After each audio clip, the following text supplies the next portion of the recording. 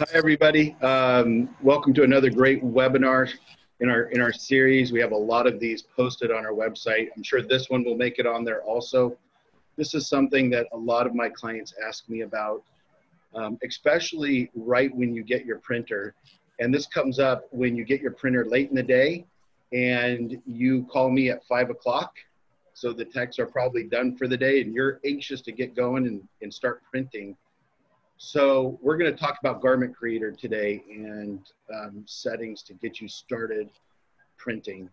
And, and Roy is our expert on that, so he's going to dive into it. We'll be answering your questions.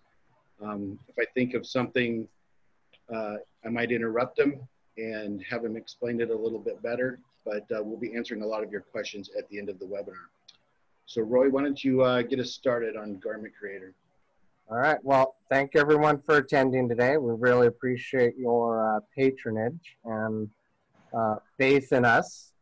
Uh, the one thing I do want to recap in what Jeff just mentioned, we do have other videos, and Jay also mentioned as well, uh, available. We did a full garment creator video, kind of going over all the controls just in general. Uh, we had another one for light garments that we did, uh, pre-treating, and this one will be dedicated to dark garment printing. So uh, the first thing I wanted to talk about is getting a successful print in Garment Creator uh, is going to require a couple things up front. One is what shirt am I going to start with? Okay.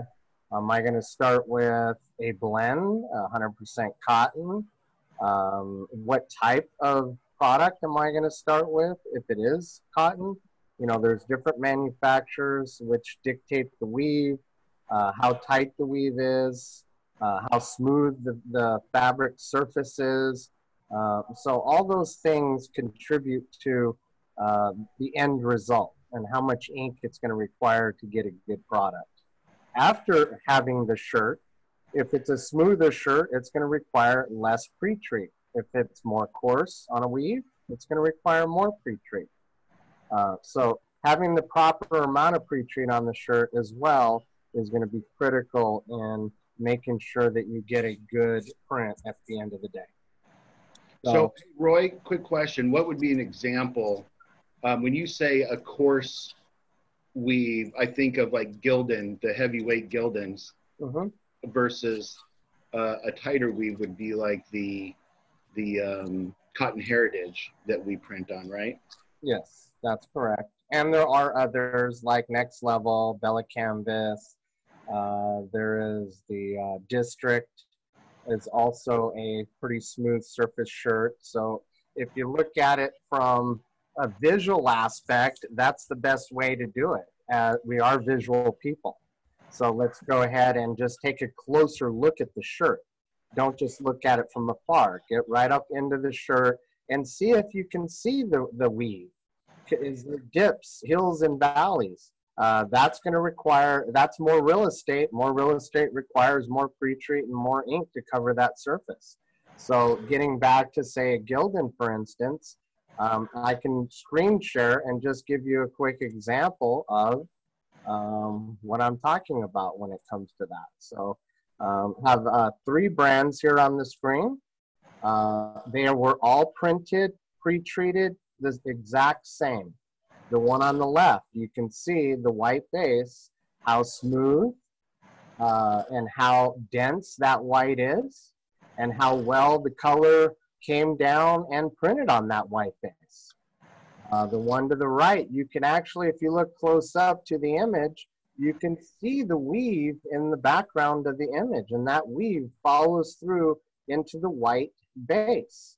So in order to cover that to where I have a better base to apply my color to, uh, I'm going to have to make sure that I get more ink on there. There's, it's going to require more white ink to get that done. These were all three printed, by the way, on the standard level three for the dark garments. So keep that in mind. Uh, there was no change, and you can see three completely different results based on uh, the fabrics. So getting back to, I got to make sure I have enough pre-treat on them to carry the white ink.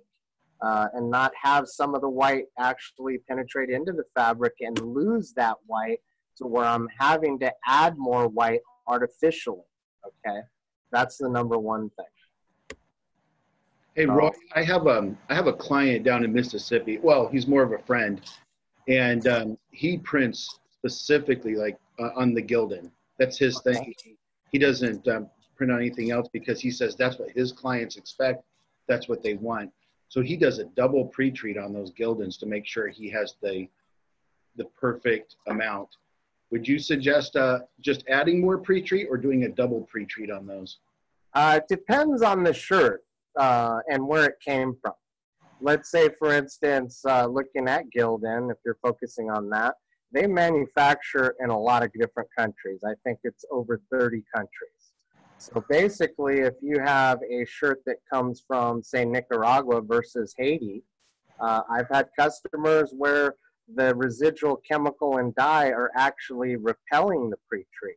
Now, something like that would require a double pre-treat because the first pre-treat is going to uh, break down the chemical layer in the shirt while it's going through the curing process. When that pre-treat turns to steam or the water does and starts shooting through the fabric, it'll break that chemical down. And then the second pre-treat is going to actually penetrate into the fabric better than the first pass.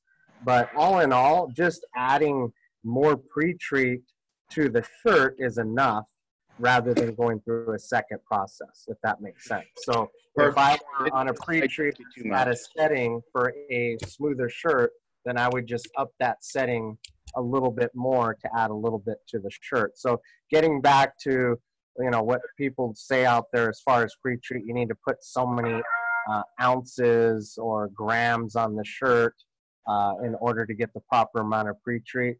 That is pretty much a myth because it, it it's based on the fabric itself and how much pre-treat it's going to require to cover it. Like a, a hoodie is going to take more pre-treat than say a Gildan or say a Cotton Heritage shirt. So as you get to a smoother surface shirt, that shirt is going to require less pre-treat, especially if the shirt is uh, designed to work with the DTG process. I think a lot of us out there are really trying to just use anything and get a good print off of anything. But I think the more we focus on the products that work, the more the manufacturers are going to come back and make products that do work better in the DTG arena. That's Gildan has already moved in that direction because they're losing a lot of business. Right. They came out in January with an enzyme wash product where they're pulling that residual chemical and dye out of the shirt and making it receptive to the pre-treatment process. So they're charging more for that product as well. So, you know, as we continue to move down this road, if we focus our money in the right direction, because at the end of the day, we're manufacturing a product and we want the least amount of headaches as possible.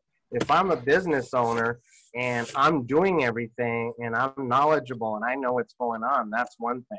But if I have employees coming in and out the door, I need to be able to have a system that they can just go back there and follow a system and a procedure that's going to work day in and day out with no issues. Right. I think that's the biggest thing that occurs is people are trying to save money by using a cheaper product like say a Gildan standard shirt for two bucks or if they're really high volume i hear people get them for 180 a shirt something like that which if you're buying at that volumes you can get some of these better shirts as well into the mid two range or maybe high two dollar range if you're buying in that kind of volume and i guarantee you with headache the amount of pre-treat savings and the amount of ink savings at the end of the day is going to offset the difference in the shirt. So it doesn't make sense to, to buy a cheaper shirt just because. So okay. anyway, not to spend too much time on that, but I it is definitely important. You got to start out with a decent shirt, uh, proper amount of pre-treat, and then uh, moving into Garment Creator on what type of print modes that you're going to go from there. So uh, gotcha. I'll go ahead and uh, bring Garment Creator up just to kind of go through the basic settings here. So in Garment Creator, as I mentioned, we've gone through all the buttons and everything. We're gonna just stick to our basic print settings here today uh, for gar garments, which we have a total of three. Uh, number one, we have a black colored t-shirt, use garment black. So that setting is gonna remove my white under base where my black ink is going to print and also remove the black ink, allowing my shirt to be my black.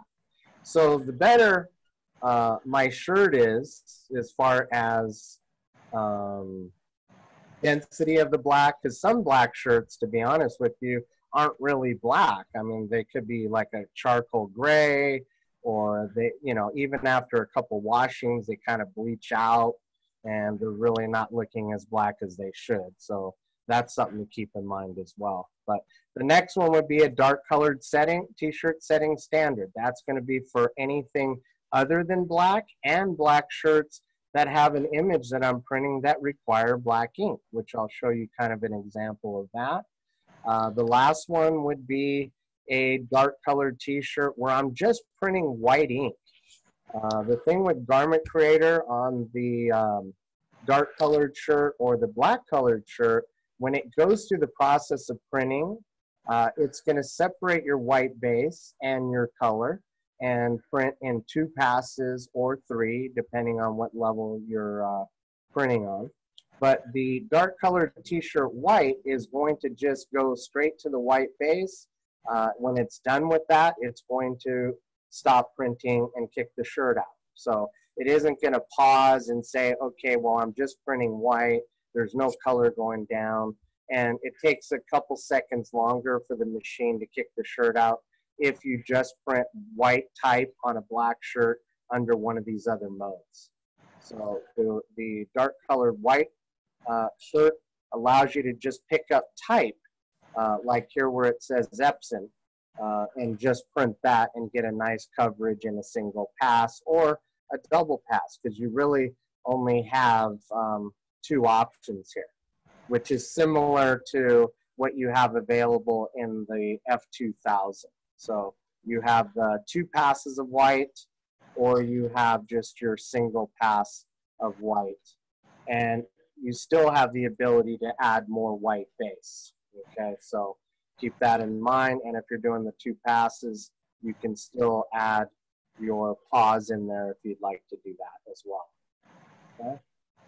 So getting back to what would be the difference or how would I know if I am printing on a black shirt, should I use the black colored shirt setting?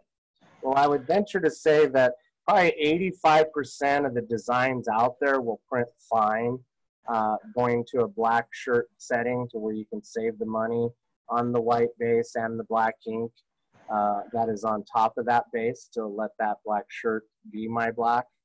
Um, but let me show you an example of why I wouldn't want to do that.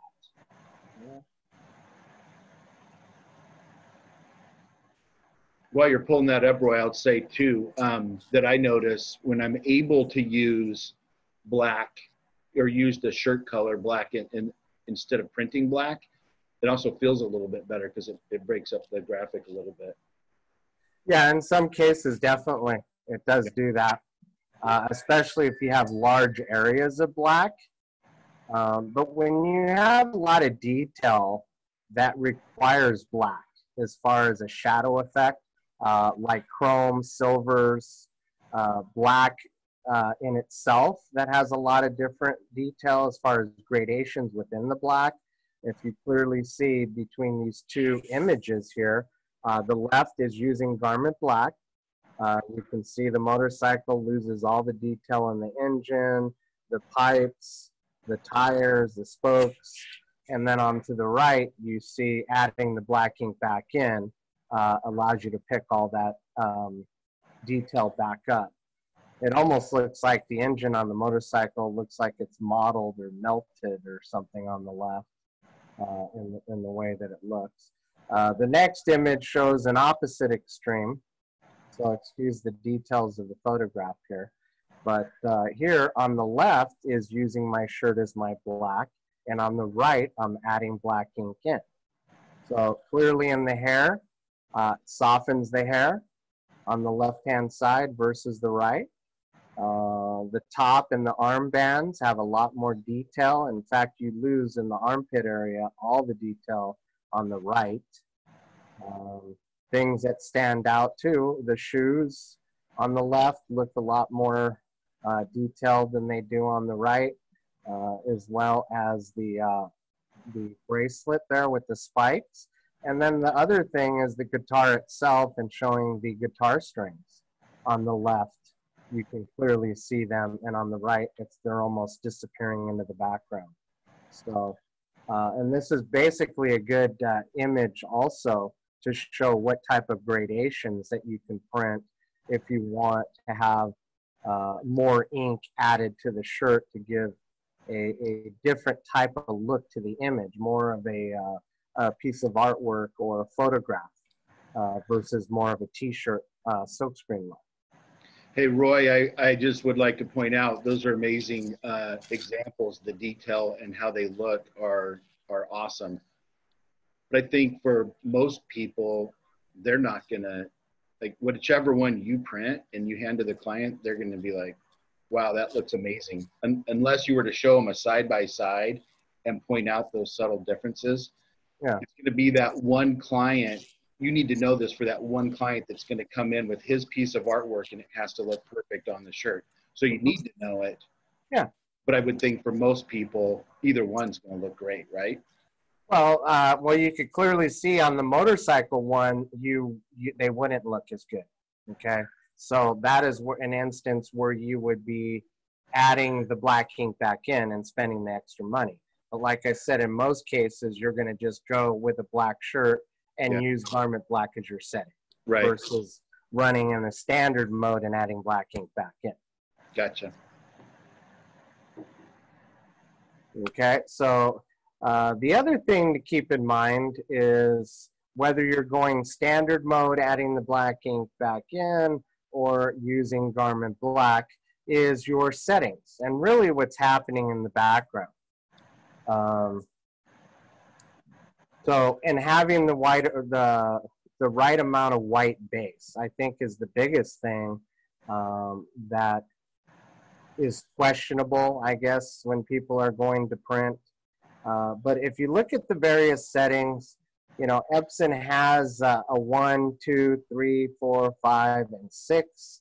Uh, the difference between all of these uh, aren't that great um, as far as differences. So number one, uh, if you look at the double strike printer, that check mark being there, that means it's going to hit anything with white on a second pass with the color. So any white type, any highlight white areas within an image, it's going to hit a second time. Um, but on the level one, I'm actually putting half the amount of white ink down that it normally puts down for all the other settings, okay? And the amount of color ink, I'm also uh, putting uh, the bare minimum down. The one thing to keep in mind with inkjet technology and understanding what's happening here is looking at the DPI and the passes, okay? Uh, the DPI is the spot size of the droplet of ink, okay? And it's going to create a dot of ink on the shirt. Now that dot of ink is going to create the optical illusion of color. So if you took a magnifying glass and, and looked at the shirt, you would see all these fine dots. Uh, you can't see it from afar, you see the image. Excuse me.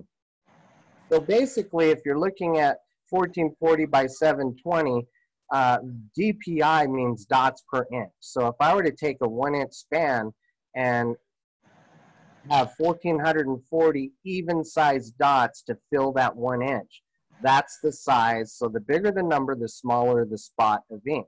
But it's going to lay down four passes, which means the head's going to go back and forth four times and drop four droplets of ink to create one circle of ink on the shirt or one spot, okay?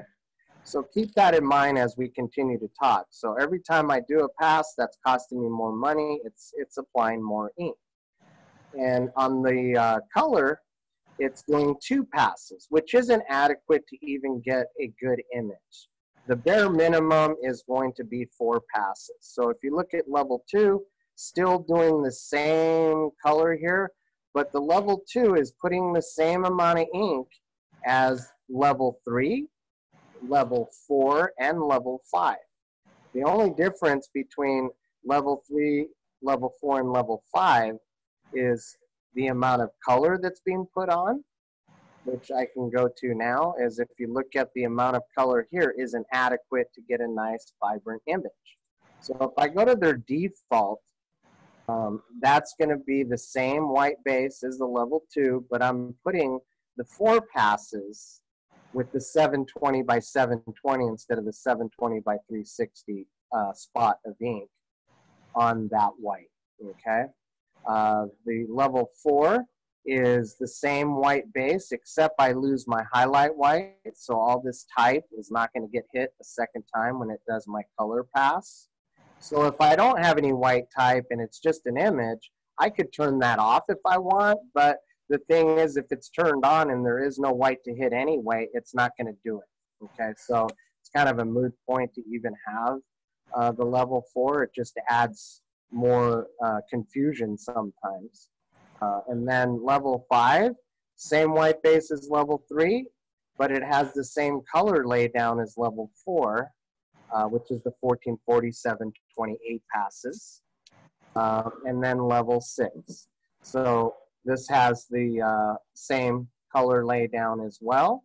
And level six, instead of having the double strike, it's actually laying down the eight passes, but it's doing it twice.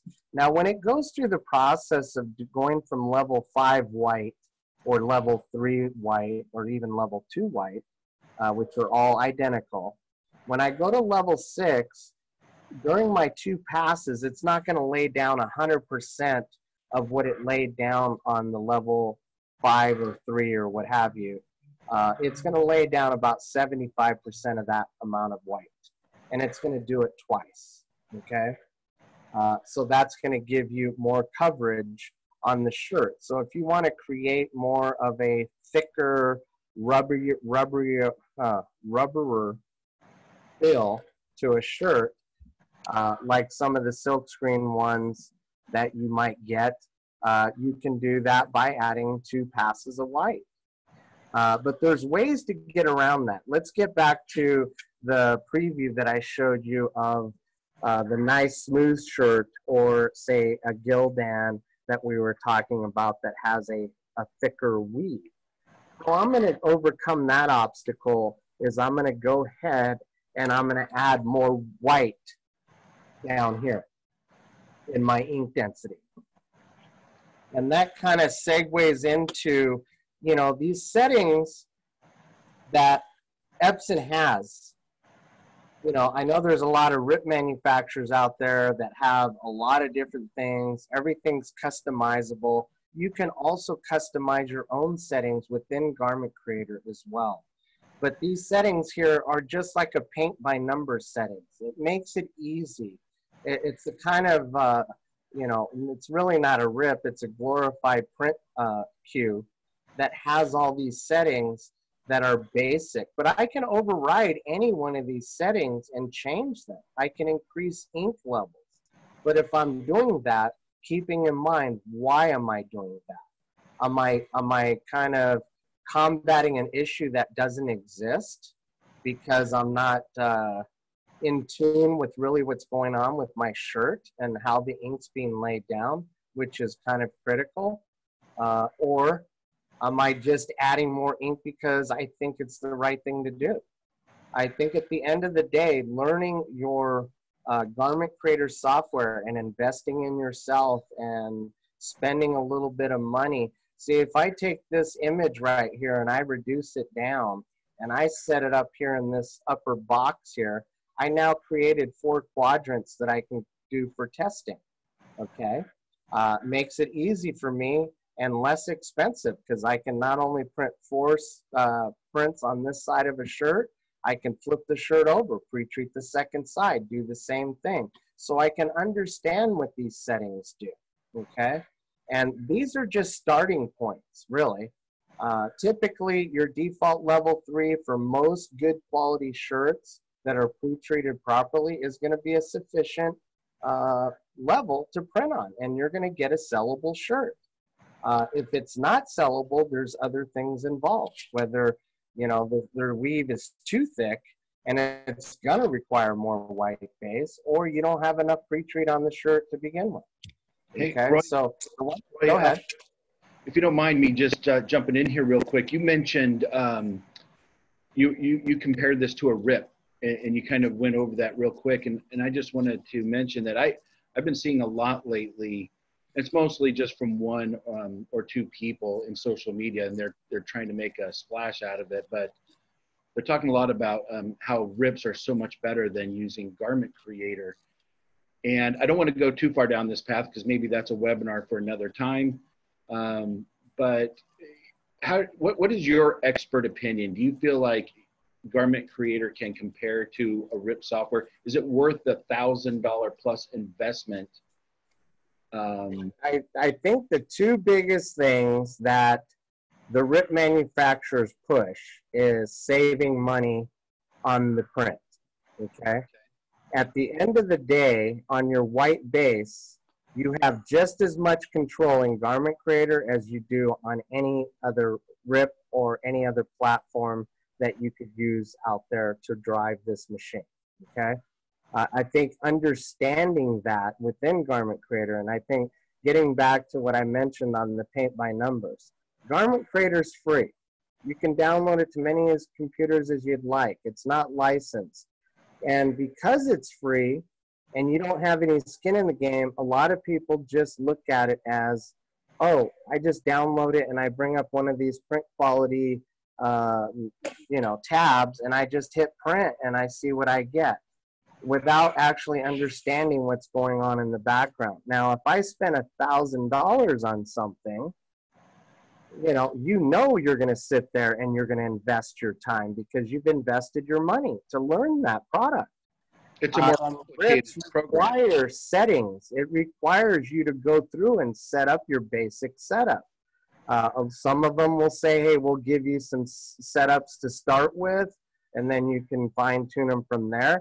But you're on your own. You got to figure that thing out. So it forces you to learn, and I think that's the biggest thing uh, is that when you're forced to learn, then you're going to go out and learn and see all the differences, see what's happening, run the tests, spend the money on the shirts, and do what I'm saying that you should be doing already with Garment Creator because Garment Creator still has all the same controls as anything else. The only thing that Garment Creator does not do that some of the rips do is remove other colors from the image because the shirt color is a different color. But I kind of question that because black is more consistent than any other color. So once you take a blue, red, what have you, and you press it, you cure it, you throw it in the wash, it's going to change color. And that color may affect the print in a in a diverse way. So I don't see that as a positive myself and a, that much of a factor in saying, hey, that's why I bought the rip. I think the biggest issue where people want to buy the rip is because of the control of the white base, which clearly, if you understand your ink density settings down here with the white, you can do the same things as you can with any rip. Okay? So, Roy, in your opinion, can it really save money by reducing the the white ink? Well, that gets back to the shirts again. Um, let's say, for instance, um, let's just go back for a second here, and I'm going to reshare this image. Okay, we're going to focus on these two shirts right here. Now, the one on the left clearly has an awesome white base. Okay, and I can clearly tell you that that ink that's on that shirt and that's printed at standard level three for this specific design, I could reduce that amount of white ink and save money. Okay? Now, on this image, if I were to print it and I've already gone through this cost justification, if I printed it on full size, which would be a 12 inch by 15 inch image, and I cut my white base in Garment Creator back to 15 minus 15%, I will save 70 cents on this image. Okay? Now on this shirt, I could do it and get away with it. But the shirt on the right, I'm already sucking air. Uh, there's no way I can reduce my white, and I'm still at the same setting. This shirt on the right is going to require more whiting. So in essence, if I double pre-treat this shirt and it's already costing me, you know, 40, 50 cents in pre-treat because I'm double pre-treating it because it's a thicker weave. And now I'm going to, I have the ability to save 70 cents on the left, knowing my white base. And this is part of uh, understanding Garment Creator and being able to run tests and investing in yourself, investing in your business. And I think that's the key to success here. But ultimately, it's going to cost me more than a buck on the right side to get this shirt to even look close to the one on the left. But go ahead. What question, question? for you, Roy. Um, so the one on our left is the Cotton Heritage. That's the one that looks pretty good. Is that correct? That's correct. And the one on the right, uh, which one is that? Um, I believe it's a Gildan, that specific shirt. Okay, so that's what we can expect when printing on a Gildan. And was and was that one double pre-treated in your example? No, no. Okay, so that's they were pre-treated the same, printed the same, to see the difference in results just based on keeping the same settings. And, and you said we would have to bump up that white on that Gildan, the one on the right. Would you do that just by increasing the white ink, or would you do a double pass on the white ink? Well, that's that's the issue here. Is if I go to level six, is do I have to? And I think getting back to the paint by numbers and not understanding garment creator is most people just jump up to the next level, not really knowing why, just thinking, oh, because it's got a higher number, I'm going to get a better print, which isn't always the case. So I'll go through that a little bit more here on the garment creator. So basically, um, again, like I said, I can go up here and go to level six if I wanted to and put two passes of white. But let's look at this as a cost perspective, okay? Just so you understand really what's happening. So if I look at this image right here, which is a standard size image that we would typically print, I'm gonna estimate this job just to break it all down so you guys can see live how this all affects everything.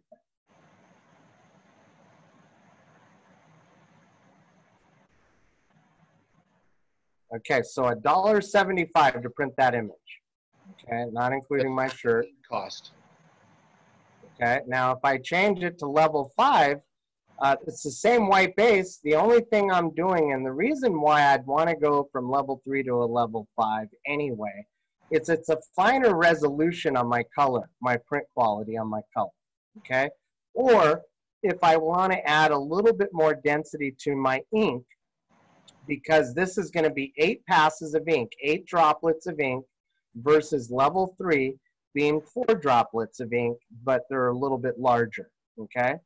Uh, the cost difference is not going to be that great when you're just dealing with color. So I was at a buck 75 on that.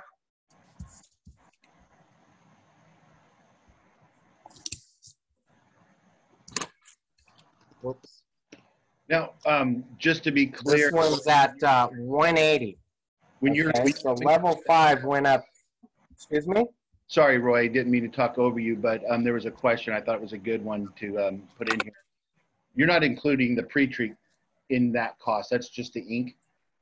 That's just the ink cost period. I'm not including the shirt, the pre-treat.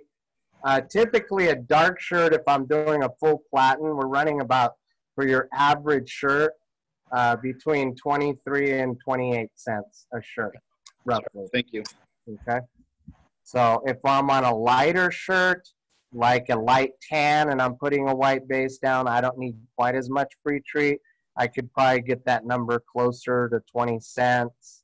If I'm running on a light garment that I'm just pre-treating, I'd be, you know, 20 cents or a shade under for light colored pre-treat just for printing colors only, not for a white base. Okay, so this is just cost and ink, which is really what we're talking about at the end of the day if we're comparing to a RIP anyway. So my cost went up five cents just to add um, a higher resolution of color print on top of the white base, okay? If I go and do my two passes of white and I get my cost on the level six, this is where the jump is gonna occur because I'm actually putting down a lot more white. Now, is that really helping me at the end of the day? And we're gonna discuss that a little bit more in a second. But if you have another question as well, what was that? I'm just saying you on level six, it's just a whole second layer of, of white ink. Yeah, yes. look at that cost jump. That's crazy. So I went from uh, 175 to 180 to 237. Okay. Now, if I were to look at the image I showed you with the motorcycle, because that's a solid square of ink, your jump is going to physically be over a buck.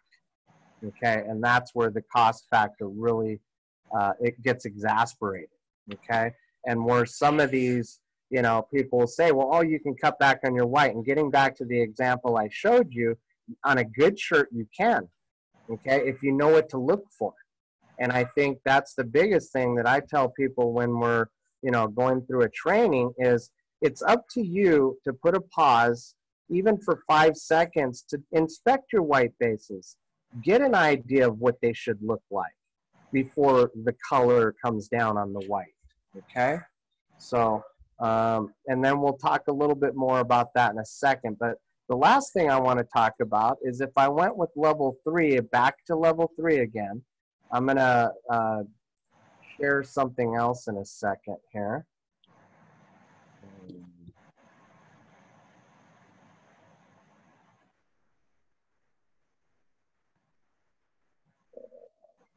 Did you have anything else, Jeff? Um, no, I was just uh, waiting to hear what you had to say. But you know, um, you know, we've had a few questions that we'll go over when you're done. Okay.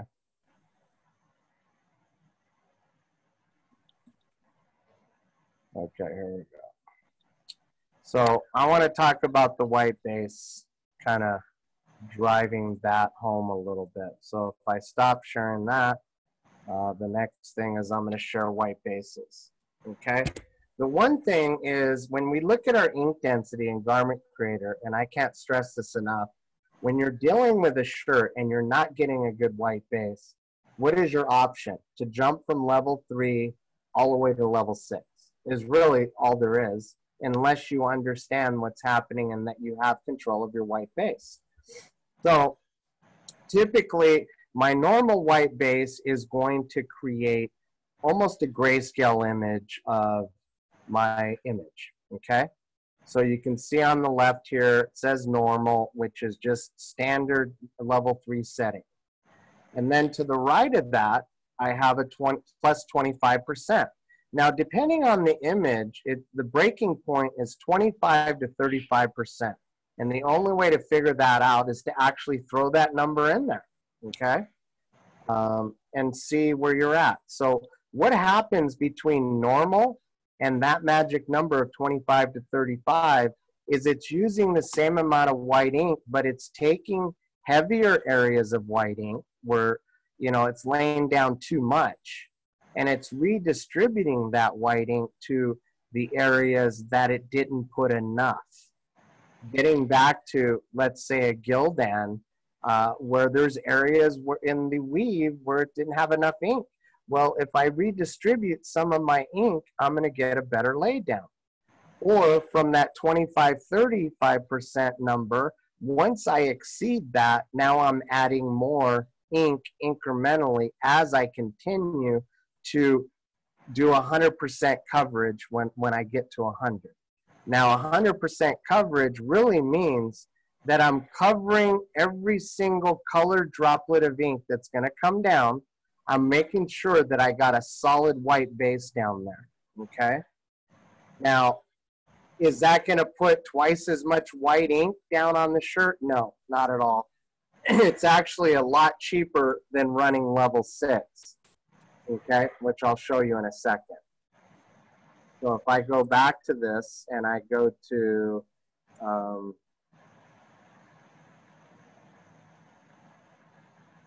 garment creator, okay. Now I'm at level three, you see I'm there.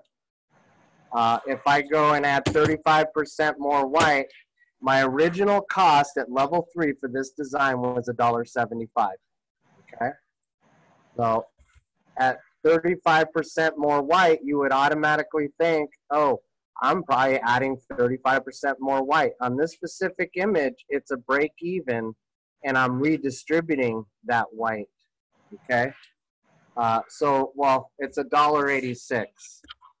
So on this particular design, the break even number is probably about 30%, okay? So that's adding a little bit more white base uh, and a total of 11 cents more versus the um, level six, okay? Now just for, to see the difference, if I go to 100% on my white, let's just go to 100% so you can see, which is gonna make a bigger impact than going to level six because it's going to make sure I have a more even applied white base. Now, do I have to do this on every print? No. If I have a good shirt to start with, level three, like I said, right out of the gate, is going to be sufficient. But if I even go 100% more white, which is going to give me a, a really good shirt uh, on a Gildan, so to speak, I'm at 193, okay? Which, if I went to level uh, six, I was at $2.37. Okay. So that's going to save me money. It's also going to save me time in production. Uh, two reasons. Because if I go to level six, I got to put a pause. I'm going to add a third pass. Okay. So when I'm redistributing my white, because it evenly does it, as you continue to increase in number, what I need to also know which leads me to our next thing to think about is my color going down? Is my white ready to receive color ink? If my white is wet or shiny looking, and it hasn't completely started to set up, then my color droplets that are coming down, and these are small droplets, are going to penetrate into that white where it's wet and I'm going to lose that color ink. Okay? And a lot of times I see where people add color, they're adding white, and they're just fighting the whole dynamic of the DTG as far as laying ink down and putting more ink unnecessarily because they're not allowing enough time for that ink or not having the right uh, application of ink across the fabric to have it set up properly. The other thing that could cause this to happen is not curing a pre-treated shirt properly. If the shirt is damp, it's not going to absorb the water that's carried with the ink into the fabric, allowing that ink to set up fast enough. It's kind of like a sponge. If I put a sponge on a counter that's wet, I'm moving water around. If I wring that sponge out really good, and I put it on the counter, I don't even have to move it. I could just set it there and it's going to suck the water up in it. If my cotton shirt is completely dry, it's going to pull the water out of that white and allow that white to set up faster, which is going to require little or no pause and allow my white to be ready to accept color. Okay. Hey, so Roy, um, Roy well. just real quick, I wanted to point something out, and I know we're kind of getting short on time. We got some um, questions to answer, but I've made this mistake and I've had clients call me and ask me this. And, and, I think it's because uh, exactly what you were talking about. If your white ink is still shiny or wet, and it's pretty obvious when it's dry or when it's wet, there's a, a definite difference that you'll see when you're printing. But if you put your CMYK down on that and then you cure it, what you'll you'll notice um, little specks of white ink poking through your image. And people call me with all different theories of what's causing that. But Mhm. That's because there's too much wet white ink before you put down your CMYK. Is that right? Well, that's part of it, yes. And part of it is the moisture in general. Uh, the first thing that happens when that platen comes in contact with that shirt is the water is going to turn to steam. And that steam is going to shoot through the fabric, it's going to shoot through the ink. So we need to make sure that that water has been absorbed into the fabric and it's only the pigments that are sitting on top of the fabric at the time of cure. If you're purposely adding more ink, because there's a lot of reasons why someone wa- might want to create, you know, a work of art on a shirt. I mean, those are popular, they sell. I want to add a lot of ink. Well, pull that shirt off the DTG and don't put it in the uh, heat press or even the tunnel dryer. Let it sit for two or three minutes. Set it on a table to the side. Then go back and cure it. Allow that water to uh, absorb into the fabric. And again, as long as your shirt is pre-treated and cured properly, that will happen a lot faster than it would if the shirt isn't cured properly. So that could be a contributing factor. Perfect. Well, are we at a good spot to start taking questions? Because we are, uh, we have about 15 minutes left. Yep, there you go. Um, so basically, the last thing I wanted to just cover is uh, the color settings down below. Uh, if you wanted to, or actually in white management, which typically we don't change this that much. I've had to change it a couple times. It's basically your white base re- being reduced uh, to where when your color goes on top, there's no white lines around the outer perimeter. If you need it reduced more because you see a white line, you can increase it to three or four. Or if you have real fine type and you're losing part of that, uh, those fine lines, you can decrease it to two to one. I've even heard of people trying to get it to zero, but ultimately it's a battle at that point to make sure that you don't have any white lines showing. Uh, and then the last thing is the color settings. For colors like this, any vibrant colors, you know, the, this thing, uh, setting works real well. If you look at the screen, if I were to click on a two here, you can see how vibrant the colors get. Um, this is a setting that I use a lot if I have a lot of colors uh, in, in the image and there's not a lot of dense colors or a lot of whites. Uh, as long as it's all mid-range stuff, uh, these settings add to, you know, the vibrancy of the print. And it's something that you can, you know, use when you want to or things of that nature. So, uh, and it doesn't cost more money really. It's within uh, saving a penny or two or costing a penny or two to use these settings. So it's not like you're going to spend any more money on the image. So at the end of the day, um, I guess that would be about it. Uh, and getting back to the white and saving money, uh, it's all can be done right here. Uh, like I said, I can reduce my white, I can increase my white, and still have the same flexibility as the uh, rips out there. Uh, the thing with the color settings here, the color does lay down incrementally. So if I add 10% more color, uh, it's not truly adding 10%, like say 100% would be doubling the amount of ink that's going down. Uh, that is not the case. So typically on the color, if I want something better, I don't really mess with that number. I would just jump from a level three to a level five. I know it's going to cost me a couple cents. As I mentioned on this image, I think it changed at five pennies. And I'm going to have uh, a finer resolution of dot as well as more ink put down on the shirt and get a get a sharper print in the process. So typically, if I'm going to print a photograph or anything with fine detail like that, I'm going to automatically print at a level five. I won't even start with three. Okay. And was there, and I guess uh, questions and answers at this Yeah. point. If anybody would like to, uh, I'll through some of these, Roy, in the questions and answers, and then I'll go through some in the chat. But uh, I just want to first say you covered some amazing stuff. I don't think you'll hear that from anywhere else in the industry. That's uh, that's college level right there. Um, all right, I uh, let's start with this uh, in questions and answers. Somebody said they only have a level one and level two in their options. Is that because that's for the um, F2000? yes, That's correct.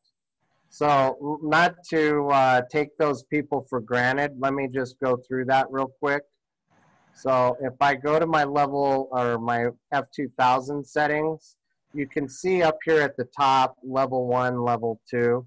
Again, the thing to keep in mind is level one is running at the same uh, white base as level four on the F2100 because you don't have the capability to have the highlight white.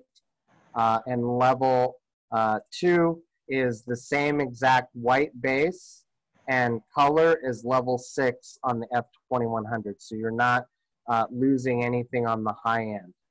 Okay, getting back to the level one is where to start out with. Um, and as far as the print color quality on uh, the F2000, it doesn't even allow you to go to the lo lower settings. Your 144720 is the same color quality as level 4, 5, and 6 on the F2100. So it's not like, well, because I have a 2000, I don't have the capability. You still have the capability of increasing these numbers. Uh, 10 passes all the way up to 16 passes, just like on your light garments. Um, and getting back to the eight passes here, going up to the two passes, which would be on the level two, if I manually went through and did that. Uh, getting back to the 2100, uh, if I went up here on level five, I don't even have the, the ability, or I do have the ability, I didn't think I did. I can go to 10 passes or 16 passes on my color. Uh, and I do see a lot of times that people do this they will max out all these settings and they end up with these costs of images that are seven, eight, nine, ten dollars worth of ink on a shirt. Wow. Why? Because they don't understand the process. They're clearly putting too much white ink down.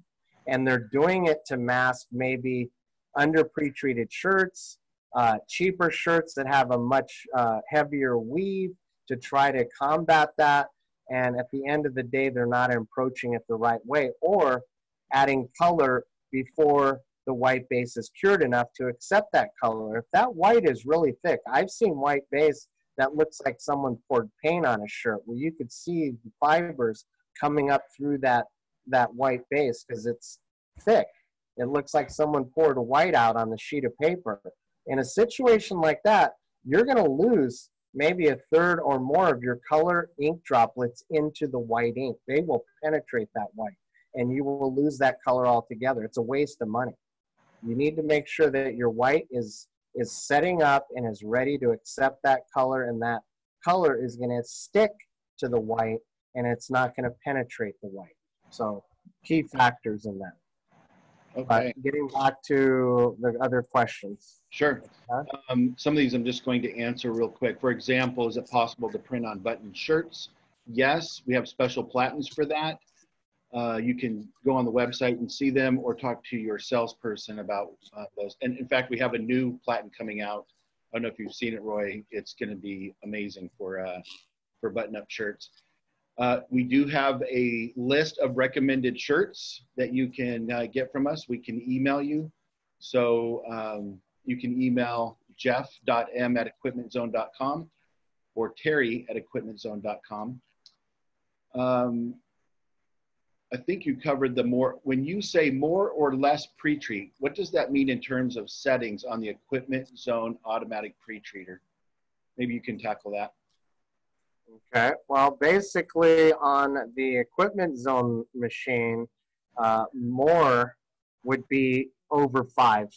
So five or above. So let's say, for instance, if I'm doing a Gildan, standard Gildan uh, shirt that you could pick up anywhere, Walmart, what have you, I'm going to run that one probably at five and a half. Uh, if I threw a cotton heritage in the machine at five and a half, the pre-treat would be dripping off the shirt. If I put a Gildan in there, it's not. It's not going to be dripping off the shirt because that shirt is thick enough to absorb that, that liquid. And that is why you're going to need to add more liquid to a, a, a looser, uh, thicker weave than you are with a, uh, a thinner, smoother weave shirt. So on a cotton heritage, I can actually reduce and go below uh, five uh, if you want to experiment with that, uh, especially if you're using the Image Armor Ultra Dark or using the Epson at a one-to-one mixture. I can reduce my setting as low. I've gone as low as uh, four and a quarter on a cotton heritage shirt, which is going to save me quite a bit of money on pre-treat at the end of the day. So again, it really depends on you. And, you know, I always add a little bit more just because um, if the pre- pre-treater isn't spraying perfect at some point throughout the day, I'm, I'm compensating a little bit for that, if that makes sense. So. Thanks, Roy. Um, we have a lot of questions and we are um, close to out of time. So let's try to get to a couple more. I see okay. Jay has um, chimed in and, and typed in some of those answers. What is the ideal humidity level for our workroom for inks to dry and be applied? We're running at what, 45%? Yeah, uh, I tell people 40 uh, to 50% is ideal because it's hard to keep it at 45. Uh, and if you're in drier climates, we're in Arizona. Um, if you get down below 40, you're pretty, you're you're okay. Uh, it's not going to cause an issue with printing per se. Uh, it's going to create a health issue with the machine. So, and head health is critical. So if I drop below 30, start approaching 20, and getting down into the lower numbers, I'm going to have uh, premature lot, nozzle loss due to nozzles uh, prematurely drying. Okay, uh, that's the biggest issue as you go into a lower humidity. So I'm going to have to stop my machine, do nozzle checks throughout the day, do head cleans, and that's going to cost me more money. Uh, it's going to cost me more time because I got to stop what I'm doing. I may waste a shirt or two in the process. It's just better to get a good humidifier, making sure when you do pick one, it's an industrial one and is not one that's built for a home uh, for someone that's sick. You don't want anything misting.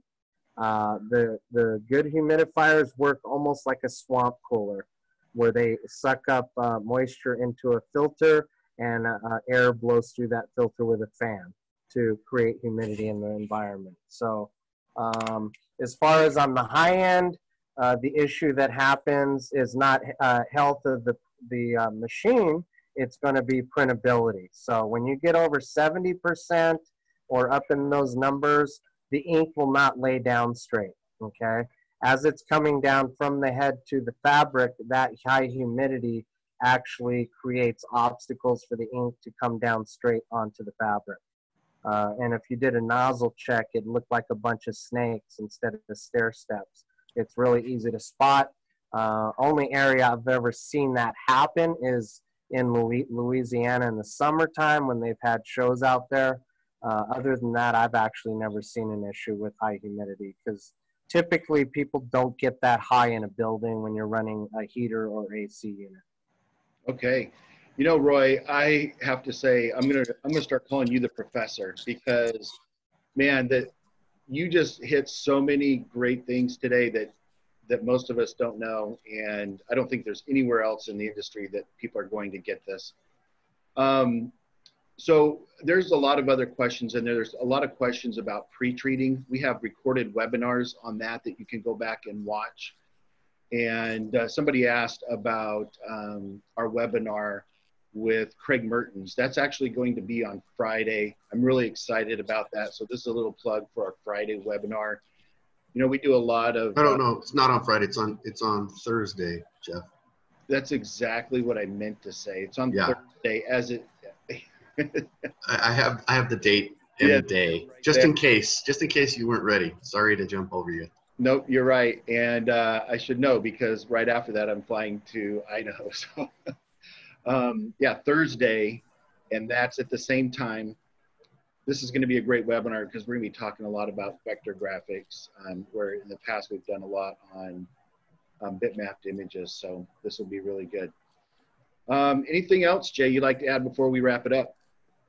I just want to say again, thanks to both of you. Uh, you did an outstanding job. Roy and Jeff, Jeff, thanks for moderating and asking some of those questions.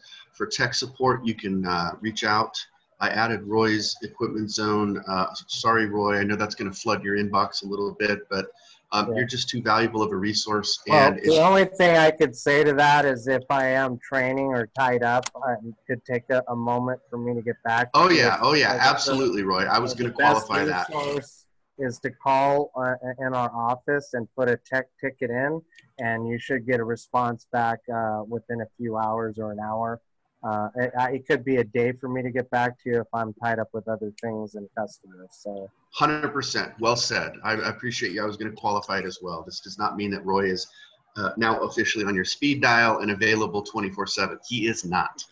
Um, but that's it, guys. This is our key contact information. We appreciate everybody tuning in today. As was stated in the chat, this session was recorded and it will be added to our recorded webinars on our website soon. Uh, so until further, until we meet again, gentlemen, thank you very much for your time. Thank you, Jay. And uh, Can I, uh, and I want to interject one more thing. There was one other question on using a dryer, like a uh, industrial size heat gun. Um, I use one all the time. So that is something that as long as you're positioning it away from the mouth of the printer and running it across the surface uh, at diagonally away from the printer, uh, you can easily use that to start drying some areas of the white ink if it's you know you want to speed up production the last thing i'd like to uh, mention not to uh, jump in on jay would be I, i've been anticipating a webinar and maybe you guys can all respond to that is uh, doing something on garments in general and how to overcome or deal with different types of fabrics dealing with blends and doing some experimenting on how to change some heat pressure and time settings uh, on curing some of these tri blends that are having issues with ink mi- migration and working around that. So uh, that would be more of an advanced class. But if you guys are all interested, feel free to shoot Jay an email and uh, let him know that you are interested in that. Thank you. I like I like that suggestion. Thanks, Roy. That was really smart. Let's do it. We're ready for some advanced classes as well. But thanks again, everybody. Signing off for now. This is Jay Bassell. Thank you, Jeff Warnenthaler. Thank you, Roy Huseman. Please visit our website and register for upcoming webinars. all right. Bye. All right. Thanks again. You guys have a great